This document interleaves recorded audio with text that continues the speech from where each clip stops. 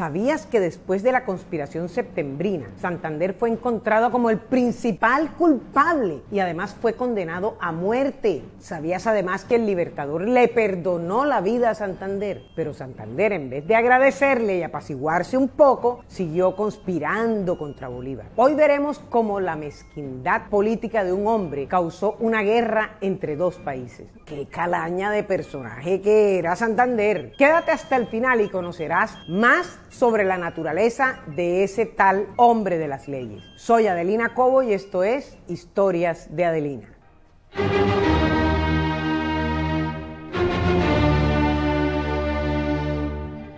Después de la conspiración septembrina, así se conoce el célebre complot urdido por Santander para asesinar al libertador, que falló gracias a Manuelita Sáenz, en las investigaciones y los juicios que se siguieron posteriormente resultó Santander metido hasta las narices, hasta ser considerado como el principal instigador y fue condenado a muerte. Pero Bolívar magnánimo le conmutó la pena por el destierro. Pero desde afuera, Santander no honró ese gesto del libertador, sino que siguió conspirando y conspirando contra Bolívar hasta su muerte. Cuentan que un día Bolívar agotado por tanta intriga, dijo muy en la intimidad que de veras que había sido un error dejar vivo a Santander. Es que la guerra contra el Perú de 1829 fue instigada tanto desde afuera como desde adentro por el propio Santander y por sus amigos. Fue así como un ejército de 8.000 peruanos, 4.500 comandados por el propio presidente del Perú, el general José de la Mar, y el resto comandados por el general Gamarra, ambos ejércitos ya habían invadido territorio gran colombiano. Cabe anotar que las cifras que estoy usando en este video son las que entregó Sucre en su informe, pero fuentes modernas dicen que las fuerzas estuvieron algo más equilibradas dentro del país. Es así instigada por las envidias del propio Santander, Bolívar le hacía frente a una rebelión de los generales José María Obando y José Hilario López, lo que le impedía moverse de Bogotá, por lo que tuvo que mandar al mariscal Sucre para que asumiera el mando militar del Comando del Sur. ¿Estás disfrutando de esta historia? Eso me encanta. Pero aprovecho y te pido que si no te has suscrito, lo hagas al final haciendo clic en la bolita del centro. El 27 de enero llegó Sucre a Cuenca, donde se reunió con el general Juan José Flores, quien después fue presidente de Ecuador, que en ese momento siguiendo instrucciones del libertador, ya le tenía reunido a órdenes de Sucre un ejército de 3.800 infantes y 600 hombres de caballería. Todos estaban listos para combatir. A la llegada de Sucre, el ejército gran colombiano lo aclamaba eufórico. Estaban fascinados con la llegada de su mariscal. Al día siguiente, Sucre le escribió al general Lamar para arreglar las diferencias por las buenas. Después de varias notas de ida y vuelta, y hasta de haberse nombrado una comisión negociadora en cada bando para la que Sucre designó al general Pérez y al coronel Oleari, pero las negociaciones no iban por buen camino. Al comprobar la dilación, de inmediato Sucre impartió órdenes para marchar en busca del ejército peruano, que ya ocupaba la provincia de Loja y que tenía tropas dispuestas en diferentes puntos hasta llegar a Nabón, que estaba ubicado a 70 kilómetros de Cuenca. Estaba metidos bien adentro en territorio gran colombiano. Sucre comenzó a mover el ejército por divisiones, por lo que salió desde Cuenca y en la medida en que el ejército gran colombiano avanzaba, se iban replegando las tropas enemigas. En el repliegue, el general Lamar, ya en retroceso, se encontró con las tropas del general Gamarra y siguieron juntos hasta Saraguro, donde se detuvieron para tomar un respiro. Pero al amanecer del día siguiente, 4 de febrero, las tropas de Sucre estaban ubicadas al otro lado del río, que es un brazo del río León. Estaban a escasos 3 kilómetros de las tropas peruanas. Los peruanos al verse prácticamente sitiados salieron en desorden hacia el otro lado y varios de sus soldados fueron hechos prisioneros, pero supieron ubicarse y quedaron en posiciones inatacables, por lo que las tropas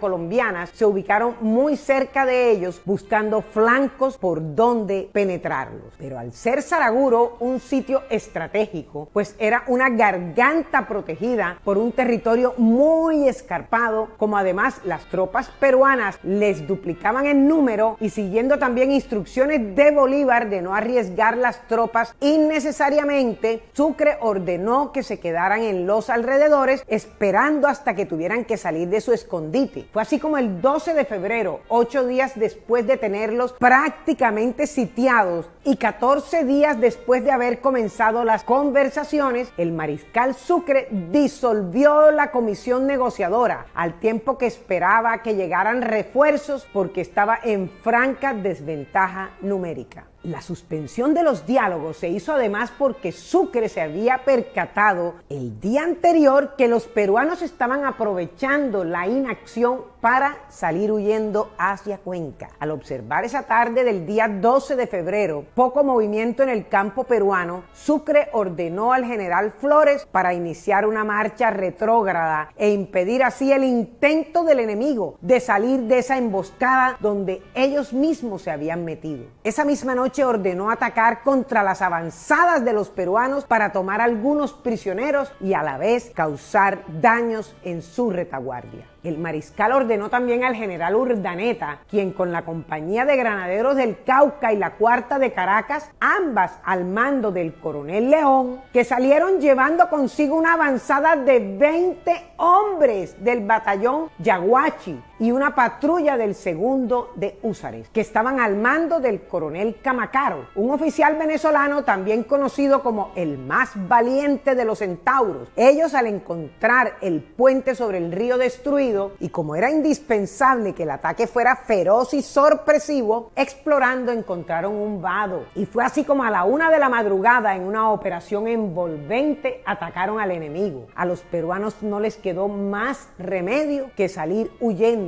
hacia Saraguro. Pero las tropas colombianas no les dieron tregua. Los 20 soldados los persiguieron como leones, encontrando alguna resistencia en los dos batallones. Los 20 bravos se precipitaron sobre ellos a la bayoneta calada, pero los oficiales, en un acto de la mayor cobardía, abandonaron a los soldados peruanos, quienes comenzaron a huir dispersos y en completo desorden. La noche estaba tan oscura que el general Urdaneta, después de haber capturado las municiones del enemigo, así como sus víveres y provisiones, regresó hasta Saraguro, donde estaba apostada el resto de la tropa gran colombiana. Y al prenderle candela a todo lo incautado, se produjo un accidente que fue la causa de que gran parte del pueblo fuese arrasado por el fuego. Cuando Sucre fue informado sobre lo que había ocurrido, ordenó al coronel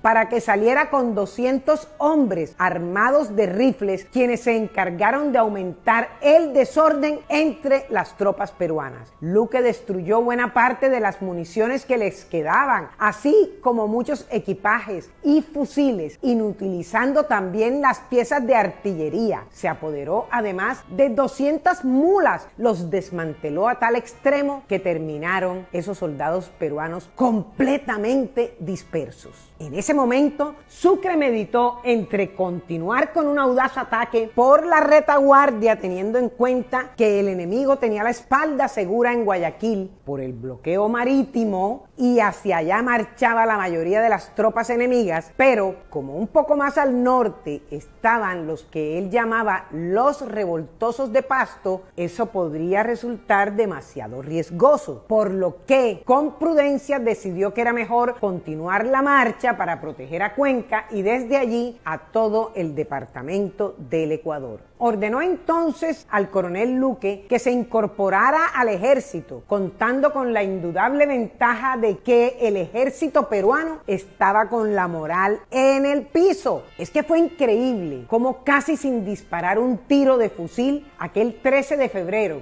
los 20 bravos del Yaguachi habían dispersado a 1.300 hombres de infantería y además por los informes de sus espías sabían que ni siquiera 300 de los soldados habían logrado reunirse con el ejército enemigo. Mientras tanto, las tropas de Sucre marcharon unos 70 kilómetros hacia el norte en dirección hacia Cuenca y llegaron hasta Tarqui, un sitio ubicado a 17 kilómetros al sur de Cuenca, que el mariscal consideró como un buen sitio para enfrentar al enemigo en una batalla. Esa guerra había comenzado porque las relaciones diplomáticas entre los dos países se habían enfriado, principalmente por el rechazo peruano al gran proyecto de la patria grande que proponía Bolívar. Lamar creyó ingenuamente que como sabía de antemano que Bolívar no comandaría sus tropas, recordemos que esta guerra surgió por una conspiración al interior y al exterior, ambas orquestadas por la envidia de Santander y de sus partidarios exclusivamente para derrocar al libertador, por lo que el presidente peruano pensaba que la victoria sería pan comido y así pareció al principio cuando la Marina peruana bloqueó el puerto de Guayaquil pero las fuerzas de tierra peruanas no pudieron controlar las tantas poblaciones que atacaron porque no tenían tropas suficientes, pues los refuerzos del general Gamarra llegaron con retraso y la mar pretendió controlar demasiadas poblaciones al mismo tiempo sin contar con la tropa suficiente. A ese error táctico hubo que anotar la gran cantidad de intrigas y rencillas personales que había entre los jefes militares peruanos que por lo visto parecían todos discípulos de Santander. Fueron todas esas rencillas y envidias las que no permitieron acometer un ataque coordinado, contundente y eficaz. Pocos días después en Tarqui, Ecuador, las fuerzas del mariscal Sucre se enfrentaron a las tropas peruanas del presidente Lamar. Pero eso, mis queridos amigos, es materia de otro video en el que les contaré cómo se definió esta guerra contra el Perú, que aclaro, no fue el único conflicto contra nuestros vecinos incas, pero sí el único instigado por Santander y sus partidarios, en su afán de derrotar, ya que no pudo hacerlo en Francalit, pero tampoco con infames intrigas al libertador. Pero esa vez las intrigas le quedaron demasiado grandes. Bueno amigos, hasta aquí esta historia sobre la sorpresa de Saraguro o sobre otra de las tantas intrigas de Santander y de sus partidarios. Y aquí van mis preguntas para ti. ¿Crees que todas las guerras son causadas por la ambición y la mezquindad de un solo hombre o de un grupo de hombres? ¿Crees que es lógico que el general Lamar, después de haber luchado al lado de Sucre en Ayacucho, cuando el mariscal tuvo que reforzarlo porque no pudo resistir la embestida realista, pensara que era fácil derrotar al héroe de Ayacucho? Francamente, parece como si se le hubiera ido la presidencia del Perú a la cabeza o estuviera alucinando. Queremos conocer tu opinión abajo en los comentarios. Si te gustó esta historia, dale like, haz clic en la campanita para que sepas cuando subimos cada nuevo video. Al final te dejo dos videos de nuestro canal. Ah, y si es que no te has suscrito, lo puedes hacer haciendo clic en la bolita del centro. Hasta pronto.